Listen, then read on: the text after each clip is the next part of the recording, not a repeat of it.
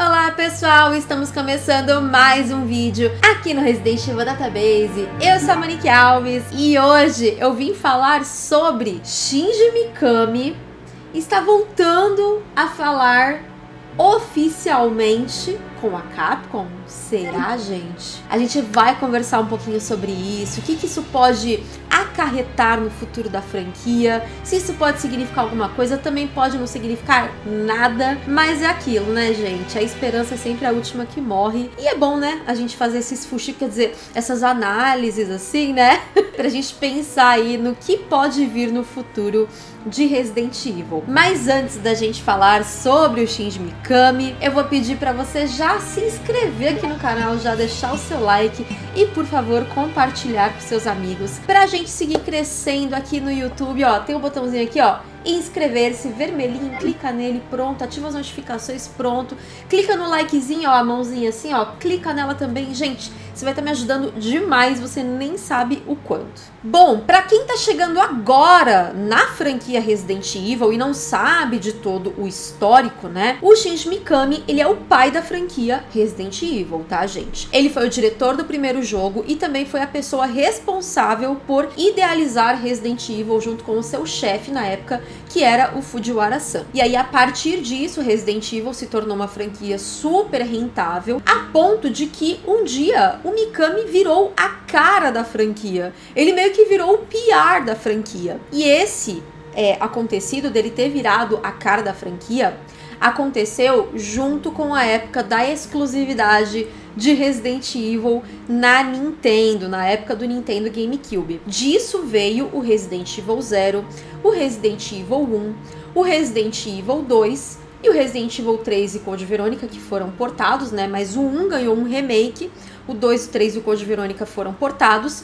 Tudo isso para preparar um terreno para a chegada do Resident Evil 4 que foi anunciado como um jogo exclusivo para o Nintendo GameCube. E nesse momento da franquia, ninguém perguntava para as relações públicas da Capcom as coisas, as pessoas perguntavam para o Mikami. Então ele meio que virou relações públicas, ele virou a cara de Resident Evil, apesar de ter outros produtores, outros diretores ali envolvidos com a franquia, mas ele era a cara da franquia. Tanto é que tem a foto que é histórica do Mikami apertando a mão do Miyamoto e assim firmando esse acordo de exclusividade na época. E aí quando perguntavam pro Mikami, escuta, Resident Evil 4, ele é exclusivo mesmo pro GameCube, não vai sair para mais nada, não.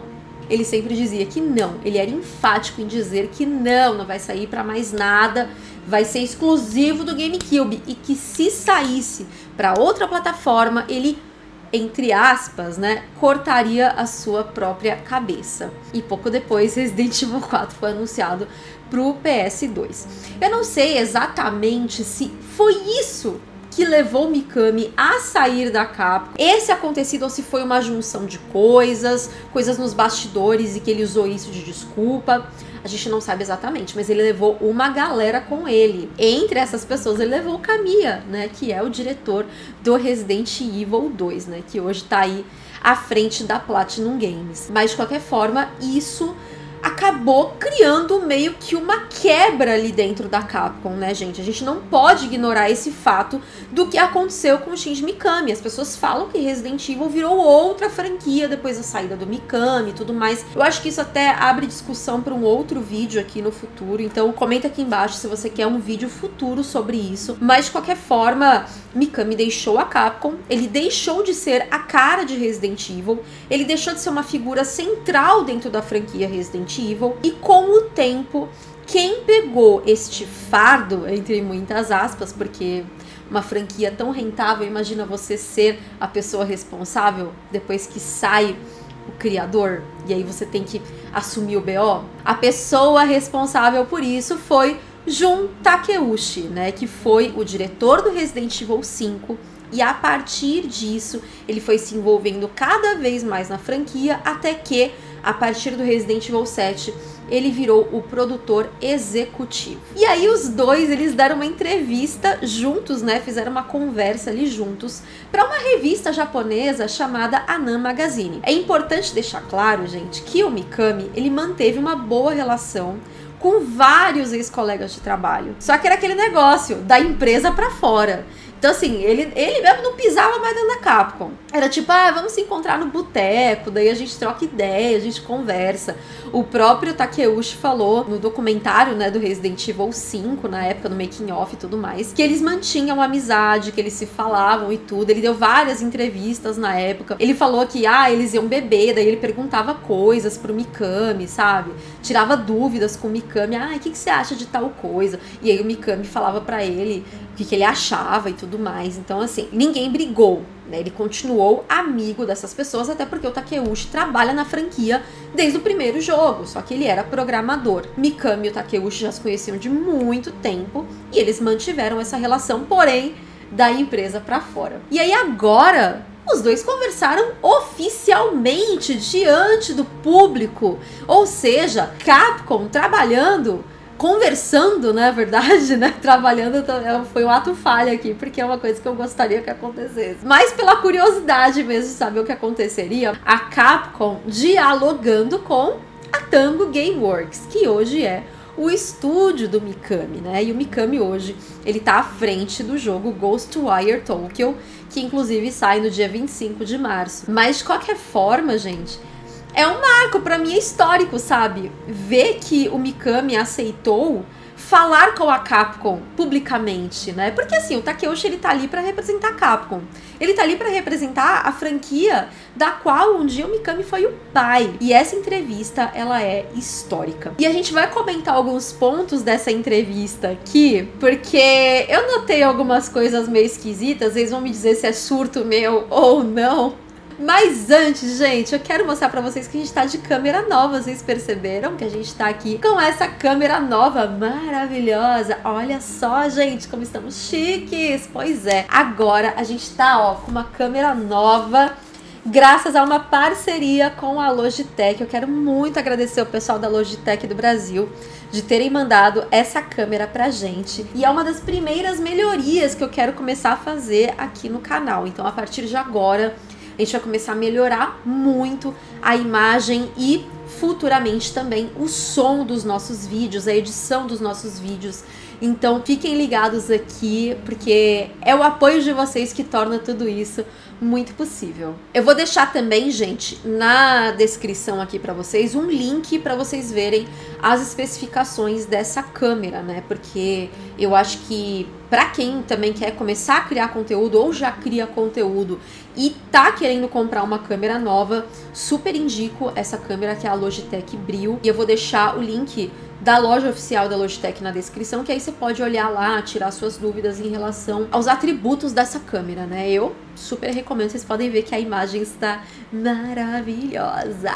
Bom, a gente está aqui com o nosso site, que é o residentevildatabase.com aberto. Então, eu traduzi essa entrevista do inglês pro português, tá? E do japonês pro inglês, quem fez a tradução foi o CVX Freak, que é o Alex Zenial. Ele escreveu um livro até sobre Resident Evil e eu tô terminando de ler para poder depois trazer conteúdo para vocês. Mas de qualquer forma, eu pedi para ele, né? Eu perguntei para ele se eu podia traduzir postar no site para falantes de português, né? E aí ele concordou, então quero muito deixar o agradecimento aqui. Eu vou deixar o link para nossa entrevista no nosso site aqui nos cards, então se você quiser, se você preferir ler, né, a entrevista na íntegra aqui nos cards, eu vou deixar aqui para vocês, tá? E lá também tem o link do blog do Alex Zenial, que tem muitos outros materiais, só que em inglês, tá bom? E aí nessa entrevista, o Mikami fala, né, ele começa a falar sobre quando o chefe dele, que era o Fujiwara-san, é, sugeriu que ele mandou, né? Mandou, né? Sugeriu, né? Mandou ele fazer um jogo de terror. Ele teve que começar do zero e tudo. E aí o Takeuchi ele fala assim: pô,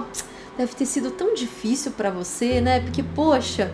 Eu era só um mero membro da equipe ali, de desenvolvimento e tal, mas você era o responsável, né, pelo projeto. Então, pô, deve ter sido tenso, né?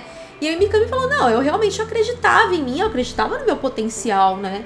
Mas foi difícil, né? E aí ele fala, ó, olhando para trás agora, me faz sentir um pouco é, de vergonha, um pouco envergonhada em dizer isso, mas Resident Evil foi capaz de capturar uh, aquela sensação de imersão que se tem em filmes de terror. E realmente, aquelas câmeras, né? A, a câmera fixa, né? Que a Capcom ela não tinha experiência muito com cenário 3D, então eles focaram na câmera fixa por causa disso. E acabou que ficou bem cinematográfico, né? E aí depois, uh, o Takeuchi ele fala um pouquinho sobre como que não tinha rede social para você poder espalhar a palavra de um jogo, você mandar o jogo para um streamer e aí vai viralizar, sabe? Não tinha rede social na época, não tinha streaming, não tinha nada disso. Então a propaganda era muito no boca a boca mesmo, tipo eu pegar contar para os meus primos, que contavam para os coleguinhas da escola, e aí os coleguinhas da escola contavam para os pros primos deles, pros amigos do prédio, sabe? E assim foi se espalhando. E por isso Resident Evil teve tanto sucesso de vendas, né? E ele falou que isso também foi bem desafiador e que hoje Resident Evil é, virou uma franquia de sucesso e tem sido jogada por pessoas em 220 países, né? E, e aí, Resident Evil foi histórico porque a gente já tinha gênero é, de terror é, para filme, para livro e que jogo meio que Resident Evil popularizou. Não foi o primeiro, mas que popularizou, né? E aí o Mikami ele fala que o terror ele é muito difícil de ser é, cada um tem a sua, a sua experiência pessoal com o terror, né? Então as pessoas vão sentir isso de forma muito diferente. E aí ele até fala que ele, acha, ele acha até hoje espíritos muito assustadores. Tanto que o Ghostwire Tokyo, que vai ser o próximo jogo dele, né? Que vai sair no dia 25 de março, vai ter uma coisa meio de, de espíritos ali. Não vai ser necessariamente um jogo de terror, mas vai ter ali uns capiroto, né? E ele falou que ele acha espíritos assustadores. E o primeiro mês de Resident Evil, ele tava planejando para ser um jogo com espíritos. Mas que ele falou, não, mas na verdade, assim, eu acho melhor a gente referenciar vários filmes, né, de terror, como Tubarão, que tem o Neptune, e outros monstro, monstros grotescos que perseguem humanos, tipo aranha gigante, cobra gigante e tudo mais. E aí ele colocou no jogo, claro, além dos zumbis, a noite dos mortos-vivos e tudo mais, né? E ele falou que o legal do Resident Evil, que é o seu diferencial, é que você mata, você derrota a criatura. Então você não tem que só fugir. Então isso, você curte essa adrenalina de derrotar. Então depois que você matou, nossa, aquele, aquela sensação de conquista. E ele falou que isso também foi muito importante para contribuir para o sucesso da série. E aí o Takeuchi falou, né, que ele fez, uh, ele trabalhou nos gráficos, né, na época ele trabalhava na, na programação do, dos gráficos, né, e é legal que tá cada um puxando sardinha pro seu lado, né? Aí o Takeuchi falou, pô, o impacto dos gráficos foi muito grande, né? E tipo, jogos anteriores não tinham esse gráfico. Na época eles foram muito revolucionários. E realmente, gente, para 1996, Resident Evil teve um gráfico muito bonito. O jogo era bonito. Eu lembro que, assim, gente, eu, eu jogo videogame desde o Atari do meu irmão, assim, a minha primeira lembrança.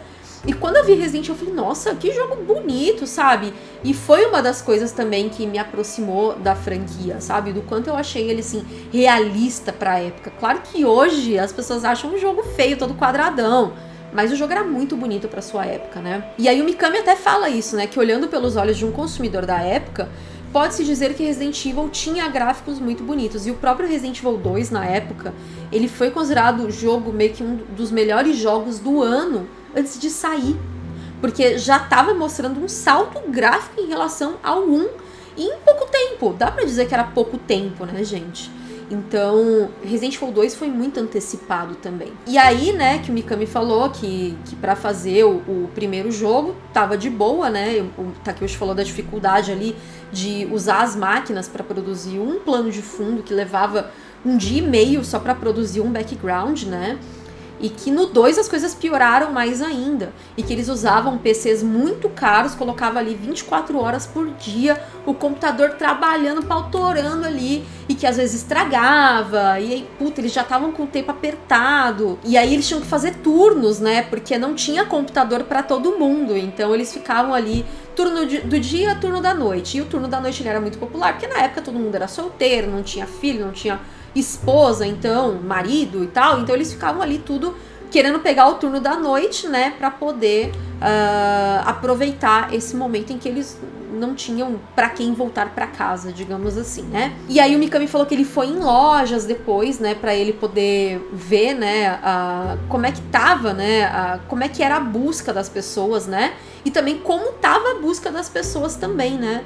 É, então foi um antes e um depois, né? Que eu acredito que ele ia para ver como as pessoas reagiam a jogos assim, e depois também ele começou a ir nas lojas para ver como é que estava sendo a recepção. E o Takeuchi ele falou que ele fez a mesma coisa com o 5 também, e que ele vai até hoje, né? E a partir desse ponto da entrevista, eles começam a falar de Resident Evil 4. E eu acho, gente, gente, assim, fonte, vozes da minha cabeça, tá, gente? Fonte vozes da minha cabeça. Mas eu acho que esse papo todo sobre Resident Evil 1, nossa, que difícil, porra, que foda, que complicado e não sei o que, foi só pra esquentar, pra puxar pro assunto principal. Porque agora eles vão falar muito do Resident Evil 4. E aí o Takeuchi, ele falou, né, que, pô, na época, eu não tava na sua equipe, né? Mas, pô, dava, dava pra perceber que você tava meio preocupado, né? Se o Resident Evil 4 ia ter uma boa recepção e tudo, né? Aí o Mika me falou, pô, realmente eu tava, né? Pô, foi complicado, assim, porque. Aí ele falou assim: ó, vou até parafrasear. Naquela época, eu tinha ido na direção de que estava tudo bem se um jogo não fosse a cara de Resident Evil. Inclusive, as mesmas reações que as pessoas têm hoje com o Resident Evil 7, por exemplo, e por isso que eu sou mais de boas em relação a isso, de ai, ah, isso não é Resident Evil. Eu vivi tudo lá na época do 4. Eu, eu fui, eu tava, e eu fui uma das pessoas que falou que Resident Evil 4 não era Resident Evil, tá, gente? Então, assim, eu entendo. Eu, eu sou bem de boa em relação a isso, porque é o famoso dessa água eu já bebi, sabe? Mas enfim, vamos voltar. Entretanto, olhando para onde a série foi depois do Resident Evil 4, eu diria que não foi um erro seguir nessa direção.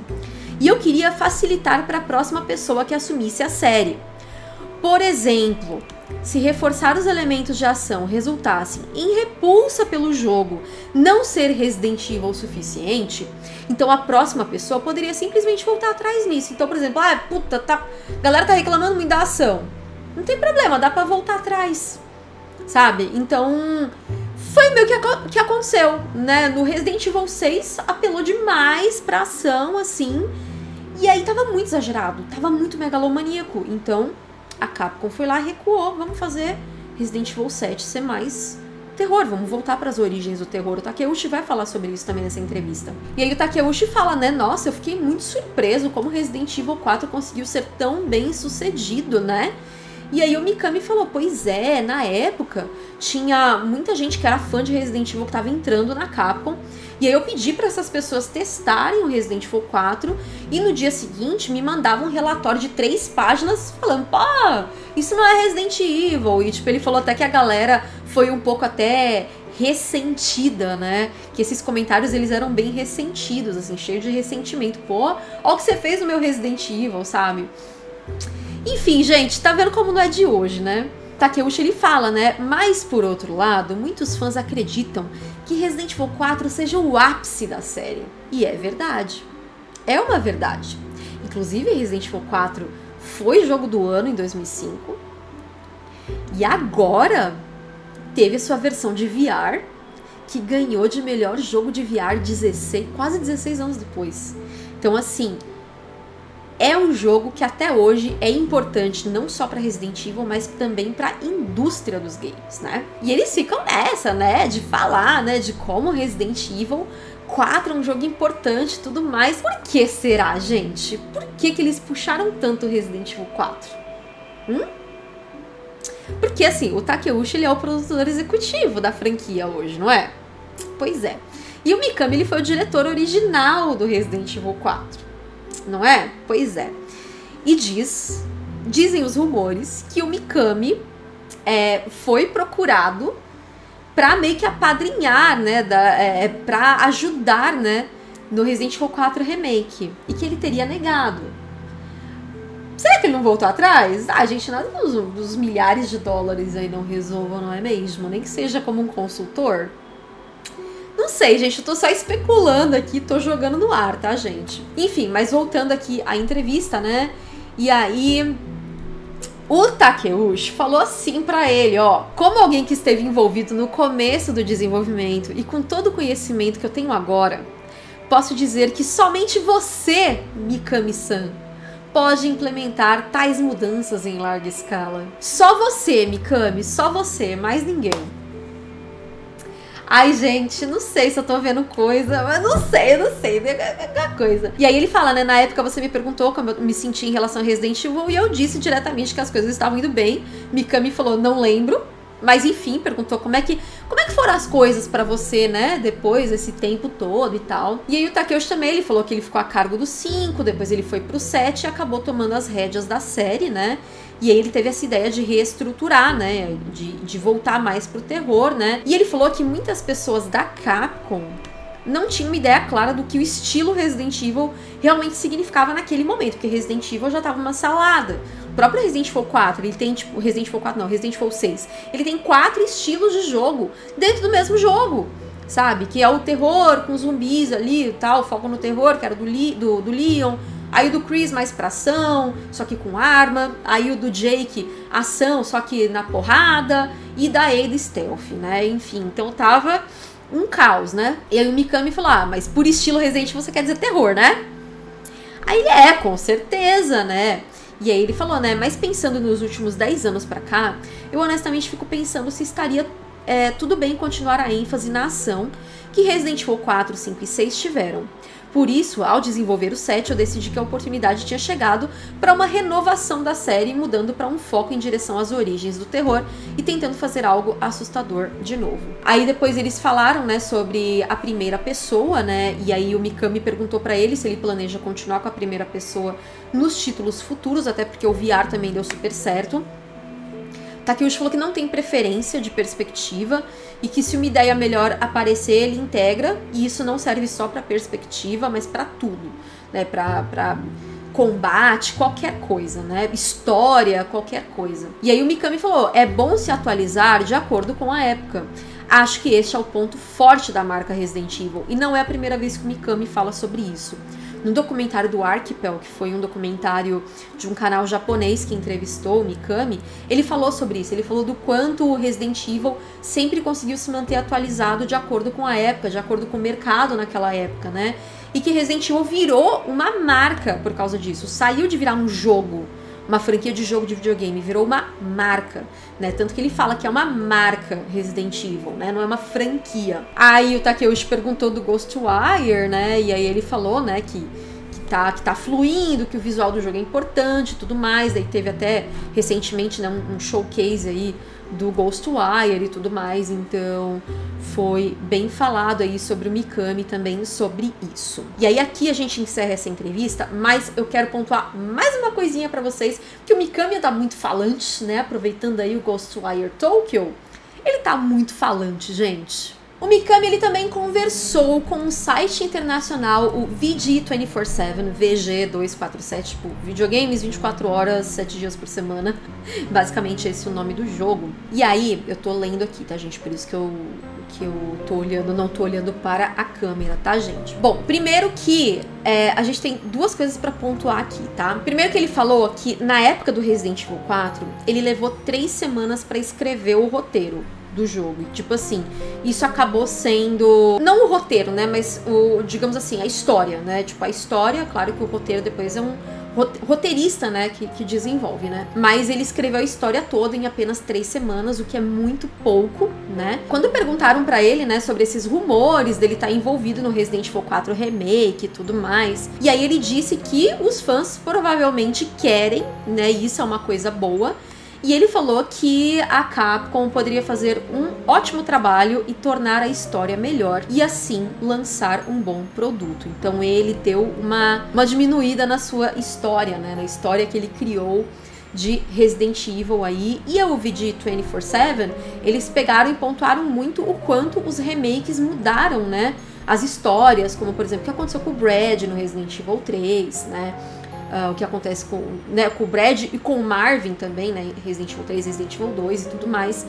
E que vamos ver o que, que, vai acontecer, né? Mas eu achei muito interessante, né? O VG 24/7 perguntou pro, pro Mikami, né? O que que, é, o que, que ele acha desses rumores, né? Uh, de Resident Evil 4 Remake. Ele falou: ah, a galera provavelmente quer, isso é muito bom. Então, tipo, sabe aquele você joga a semente, você joga a bola pro outro cortar? Então, Mika me jogou pro ar aí, gente. Então, aparentemente as pessoas querem, mas assim, por enquanto é só rumor, né? Gente, a gente não sabe. nada foi confirmado oficialmente, então capaz que nem exista, sabe? Apesar das pessoas quererem muito, é capaz que nem exista, sabe? A gente, a gente tem que estar tá pronto para tudo, sabe? É que pena. Mas o Mikami, ele acha que a história que ele criou não foi tão boa porque foi escrita às pressas. E você? O que, que você acha da história de Resident Evil 4. Eu gosto da história do Resident Evil 4. Se vocês quiserem, um dia a gente pode falar sobre a história do Resident Evil 4. Muita gente fala que o 4 não tem história.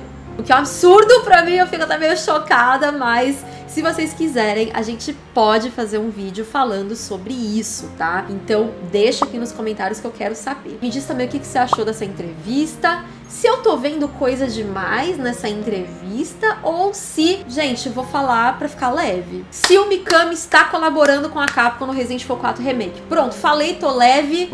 Talvez eu esteja surtando, apenas sejam fonte e vozes da minha cabeça, mas é isso. Então eu quero saber o que, que vocês acharam dessa história toda, da entrevista, do que ele falou da história do 4 e tudo mais. Então coloca aqui nos comentários tudo que eu quero saber. E se você gosta do trabalho que eu faço aqui no Resident Evil Database, considere se tornar um apoiador em padrim.com.br barra Resident Evil Database a partir de um real por mês no seu cartão de crédito. Você também pode ser membro aqui do nosso canal do YouTube, clicando no botãozinho Seja Membro aqui embaixo. Mas se não tiver o botãozinho, não tem problema. Tem um link na descrição e também vai ter um link aqui nos cards para você. A partir de R$ 2,99 por mês, você vai ter acesso a várias recompensas. Tem três playlists lotadas de conteúdo e que o conteúdo é exclusivo para quem é membro. Várias lives antigas, lives de jogos relacionados. E agora eu criei uma playlist meio doida chamada Que tipo de Resident Evil é esse? E aí eu coloco os meus surtos em live, por exemplo. Um dia eu tava em live com a galera conversando só na resenha Desculpa, gente, as, as, as, coisas saem na minha cabeça às vezes assim. E aí eu peguei, liguei o Unpacking no Xbox Game Pass. E comecei a jogar com a galera e conversando e organizando um quarto. Surtos, né, gente? Porque 2022 eu tô assim, eu tô surtada, né, gente? Vamos ver até o fim do ano se eu vou estar tá medicada duas gotinhas de manhã, duas da tarde, duas de noite. Vamos ver, mas enfim, você vai ter acesso a isso, ao nosso grupo secreto do Telegram. Enfim, várias coisas, então por favor seja membro. E se você preferir, lá no site roxo, a gente tá fazendo essas lives aí desses jogos diferenciados, relacionados que seja com Resident Evil ou não. E aí você pode ser um sub lá a partir de R$ 7,90. Ou se você assina o Amazon Prime, você tem além de todos os benefícios, né, da Amazon, você também pode ser sub de um canal incluso no pacote. Então você não gasta nada mais por isso e você apoia um canal. E se esse canal for Resident Evil Database, eu vou ficar imensamente feliz. Eu vou ficando por aqui. Um beijo para todo mundo, até o próximo vídeo e tchau.